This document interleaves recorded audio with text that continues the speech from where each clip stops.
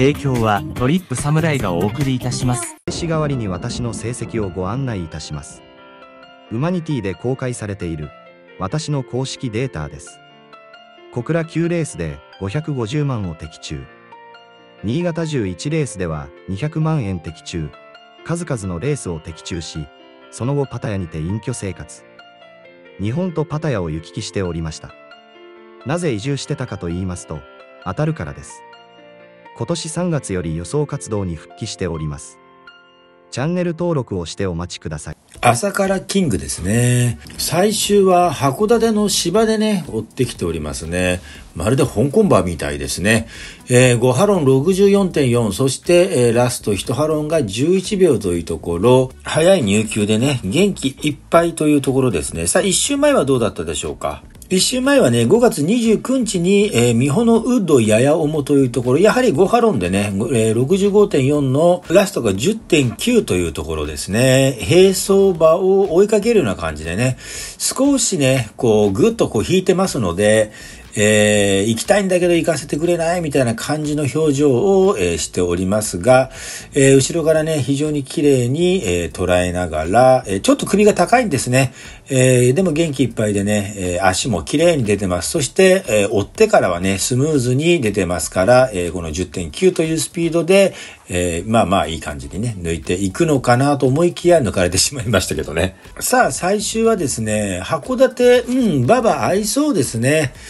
えー、非常に足抜きも良さそうですし、えっ、ー、とね、力強くね、えー、書き、書き上げてるというのがよくわかります。えっ、と、並走馬、後ろからね、追いかけるような感じで、えー、並走馬が導入というところでですね、えー、並走馬もね、えー、結構走りそうな感じで、えー、顔を上げてね、えー、綺麗に走っております。そうですね、えー、朝からキング耳をピーンと張ってね、合わせてからはね、ほんと気合が入ってね、いい感じですよ。えっ、ー、とね、特に右足がよく出てるかな。えー、右手前で、えー、綺麗に走っておりますので、まあ文句ないですね、えー、順調そのものではないのかなと思います。輸送の疲れもなさそうですし、えー、いけるんじゃないかなと思いますね。えー、調教評価は A 評価ですね。ウィングレイティスですね。こちらは一周前の V はないですけど、えー、函館1本というところでね、ちょっと1本しかないのでね、えー、どこまで評価できるかなというところ、えー、右の足がね、非常に綺麗に出ております。えっ、と、ウッドのね、え、両馬場というところ、えー、5ハロンでね、74.4の、え、ラストが12.5というところで置いております。そうですね、え、首の使い方もいいですけどね、ただちょっとスピード感がないかなという感じ。まあ、あの、ピッチ走法なのかな。えー、足はね、えー、非常に回転よく走ってますけど、どうかな？疲れが抜けてないかな？なんかね、サウジボケしてるような、えー、感じも見受けられますね。ちょっとね、一本なんで何とも言えないですけどね。えー、まあ、この動画を見る限りは、えー、調教評価は B 評価でお願いいたします。小樽 A はですね、こちらも一周前の V はないので、えー、函館一発というところで、えー、私の方の評価になりますね。まあね、ウッドでちょっと細いんでね、えー、並走というのができないと思うんですけど、まあ足も綺麗に伸びてますし、えー、ケッパリもね、悪くはないかなとは思うんですけどね。まあでもちょっとタイム的に平凡かなというところで、スピード感があんまり感じられませんよね。うん、まあ調教評価は B 評価かなというところですね。カイザーメランジェですね。こちらもね、えー、函館1本です。合わせてきましたね。えー、外側から合わせております。まあ前半からね、えー、コーナー曲がってくるまでずっと手綱をね、ぐっとこう引っ張りながら、えー、ちょっと左向き加減にね、えー、まあ嫌がってるような素振り見せますけど、まあでもそのままね、加速しながら、え、両馬の方は抜き去るという感じ。足の出もいいですし、後ろ足もいいし、そうですね、え、なかなか順調でいいんじゃないかなと思いますね。ただですね、まあ、上積みというところはあんまり感じない。それから、まあ、ちょっとスピード感がないのでね、どうかなというところ。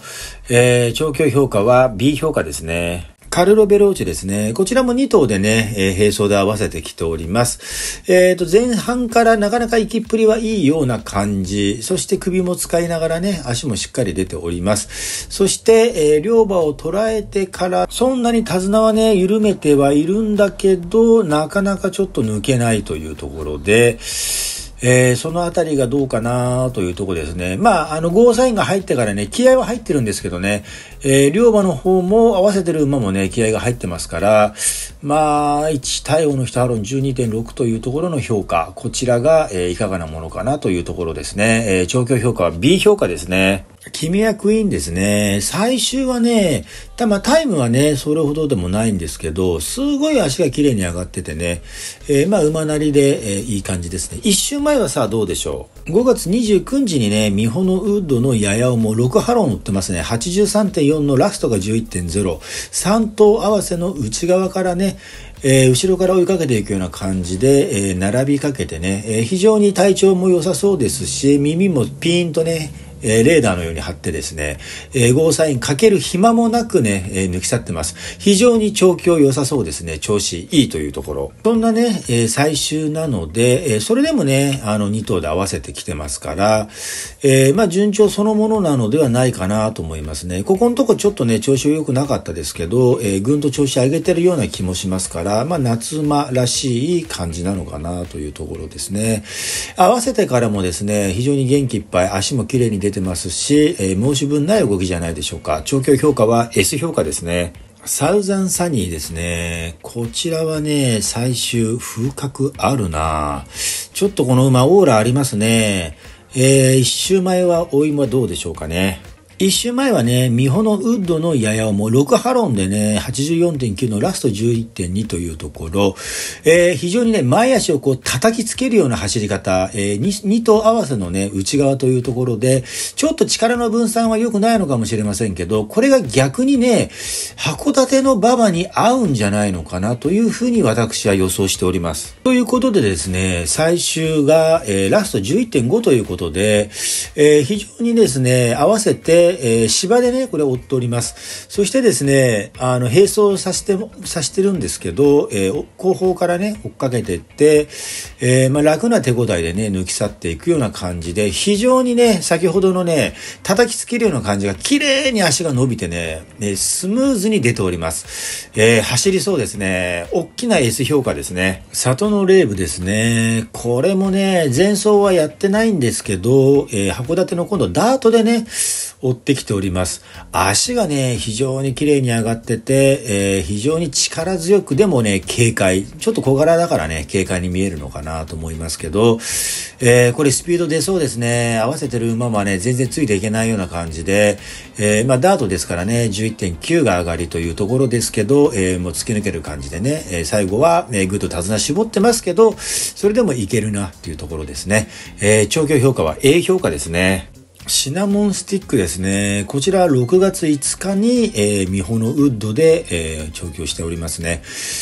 ちょっと細いかななんかちょっとガレちゃってる感じがしますね。なんか全般的に体調面がどうなのかなというところで、えー、もしかしたら遅れてるのかなという感じがしますけど、まあ、あの、お尻はね、大きくてね、後ろ足の毛っ張りはいいんですけど、ちょっと首周りがね、なんかすごくね、あんまりよく見えないような感じですね。長距評価は C 評価ですね。ジャスティンスカイですね。こちらも函館一発というところ、えー、4ハロンね、52.4の、えー、ラストが11.6というところで、えー、単走で追ってます。まあ、馬的にはね、えー、足を見ながら、えー、地面をね、えー、こう確認してるような感じ。先日のね、えー、ロマンチックウォリアもこんな感じでね、確認しておりました。足をね、えー、非常に固める。頭がいい馬なんでしょうね。ただ、どうかな、ちょっと左足が、うん、癖があるような感じがありまして、えー、ちょっとこうバランスが悪いような感じもありますね。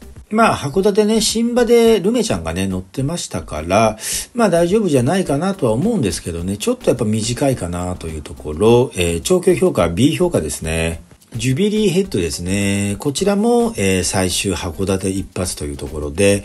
えっ、と、5ハロン68.1のラストが12.3、えー、単走でね、追ってきておりますね。まあでも左足の出方が非常に良くて、えー、非常に意欲的に前向きですね。えー、前進志向が強いような感じ。ちょっと見せ鞭をね、見せながら、えー、スムーズにね、走ってると思います。非常にいいんじゃないでしょうか。ただちょっともう一つね、ギアが入るといいかなと思いますね。長距評価は B 評価ですね。続きましては、セッション。こちらも函館一発勝負。